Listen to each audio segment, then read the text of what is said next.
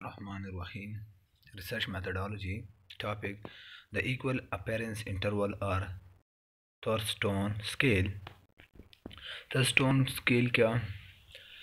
थर्स्टोन scale में हम weightage देते हैं एल्टीट्यूडनल वैल्यू देते हैं किसी भी स्टेटमेंट के लिए। लेकिन इस स्टेटमेंट से पहले हम क्या करते हैं?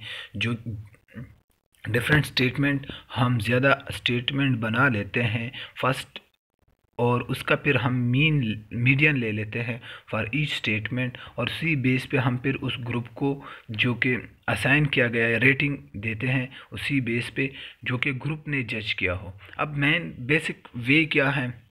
मैंने बाकायदा इसकी वीडियो एक और अपलोड की। उसमें इजी वे में एक्सप्लेन किया गया कि थ्रोस्टोन स्केल है। तो उसका मेन पॉइंट यही है कि वो आप डिफरेंट आइटम या सब्जेक्ट बना लेते हैं तो उसमें आप फिर क्या ग्रुप ऑफ़ जज को वो जज कौन होते हैं, वो एक्सपर्ट लोग होते हैं, उसी फ़ील्ड में तो उनको आप दे देते हैं कि आप इसमें जो जो राय देना चाहता है, वो राय दे दें। अब अगर ज़्यादातर लोग उस पर एग्रीमेंट एग्री होते हैं देन वो हमारे पास नेक्स्ट स्टेप पे चला जाता है, उसको हम सेलेक्ट कर लेते हैं। अदरवाइज़ अगर ज़्यादा जो रिस्पोंडेंट हैं या जज हैं वो जज नॉट द रिस्पोंडेंट जज अगर ज़्यादातर उसको उनकी uh, जो डिसीज़न है वो हर एक की डिफरेंट है स्केटर है तो उस बेस पे फिर क्या करते हैं हम इसको फिर उन स्टेटमेंट को हम क्या करते हैं वो निकाल लेते हैं. बट अगर जज ज़्यादातर जो जज हैं जो एक्सपर्ट हैं उसको अगर आ, उस स्टेटमेंट को वो सेलेक्ट करते हैं और उसको वैल्यू दे देते हैं तो उसको हम क्या करते हैं? वो एक्सेप्ट कर लेते हैं और वो हमारे पास इस बेस पे। तो इसमें ये इसका मेन पॉइंट है। इससे फिर, इससे हमारे पास रिफ्लेक्शन क्या है? वो एब्सोल्यूट आती है, ना कि वो रिलेटिव आप एल्टीट्यूड ऑफ़ रिस्पॉन्डेंट की चेक करते हो। और इसके जो प्रोसेस है प्रोसीजर है, वो क्या है, वो depend on seven step seven step पे क्या पहला पहला हम कंस्ट्रक्ट करते हैं स्टेटमेंट और उससे जो वो रिफ्लेक्ट करता है attitude of attitude of toward the main issue जो मेन इशू है या क्वेश्चन है उसके वर्ड तरफ़। फिर वो पैनल ऑफ़ जज जो पे हम या एक्सपर्ट के थ्रू पे हम वो एक्सप्लोर करते हैं, वो एक्सेप्ट या उन स्टेटमेंट में कुछ सेलेक्ट करते हैं, कुछ रिजेक्ट करते हैं। आफ्टर दैट उसके बाद फिर क्या करते हैं? अगर रिक्वेस्ट करते हैं किसको? जजों को जो रेटिंग देते हैं रेट करते हैं, इस स्टेटमेंट के डिफरेंट स्टेटमेंट के टूवर्ड द क्वेश्चन या इशू के तो वो हम उसको फिर वो रेटिंग क्या? वो रेटिंग 11 पॉइंट्स में रेट करते हैं। इन बेस पे जब वो रेटिंग कर लेते हैं ऑन द बेसिस ऑफ़ जजेस रेटिंग फिर हम उसका क्या करते हैं? मीडियन लेते हैं और मीडियन लेने के बाद क्या करते हैं? जब जज रेटिंग करते हैं मीडियन ले लेते हैं आ, कुछ इस तरह होते हैं कि कुछ क्वेश्चन या कुछ आ, स्केटर होते हैं जो आइटम स्केटर होते हैं वो क्या करते हैं हम हम उसको आ, जो एग्री एग्री नहीं करते उसको हम फिर हटा देते हैं डिस्कार्ड कर लेते हैं उन उन सच स्टेटमेंट को। और इसके बाद जो हमारे पास रिमेनिंग स्टेटमेंट है उससे क्या करते हैं हम एल्टीट्यूड टू वर्ड क्या करते हैं वेरियस एक्सपेक्ट ऑफ़ इशू या जो क्वेश्चन है, उसकी तरफ़ फिर हम बाकी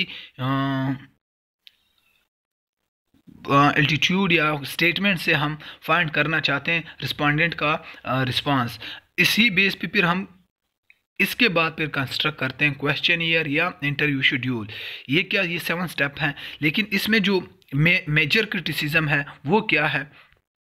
मेजर क्रिटिसिज्म इसमें वीकनेसेस क्या है? बाकी तो ये बहुत इजी वे में इस तरफ़ एक्सप्लेन किया जाता है। लेकिन इसमें एक इशू है कि अगर आप स्केल करना चाहते हो, आपने ये इंडिकेशन की है और इंटेंसिव ऑफ़ पीपल फाइंड करना चाहते हो एल्टीट्यूड तो वो क्या होगा? वो आपके पास बार बार एक ही आएगा। क्योंकि अगर मैं उस पर रिसर्च करता हूँ, वही स्टेटमेंट यूज़ करता हूँ, आप लोग भी वही स्टेटमेंट यूज़ करते हैं और जज जो हैं वो सेम ही जज हैं। तो वो इन्हीं फैक्टर को क्या करेंगे जो इनको सही लगेगा स्टेटमेंट वो एक्सेप्ट करेंगे अदरवाइज़ वो रिजेक्ट तो वो हमारे पास सेम वो आएगा।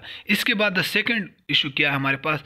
है कंस्ट्रक्शन डिफ़िकल्ट है, लेकिन उसमें मेजर इशू क्या है कि रिस्पोंडेंट और जो जज का है जज के वो डिफ्रेंसीशन थाट हो सकती है। तो उस बेस पे फिर हमारे पास जो रिस्पोंडेंट का अपना रिस्पांस है, वो क्या? वो रिफ्लेक्ट नहीं करता। क्यों? क्योंकि हमने उसमें से फिर बाउंड किया कि आप जो जज का जजों का जो ताट है, उसके मुताबिक आपने हमें आंसर देना है।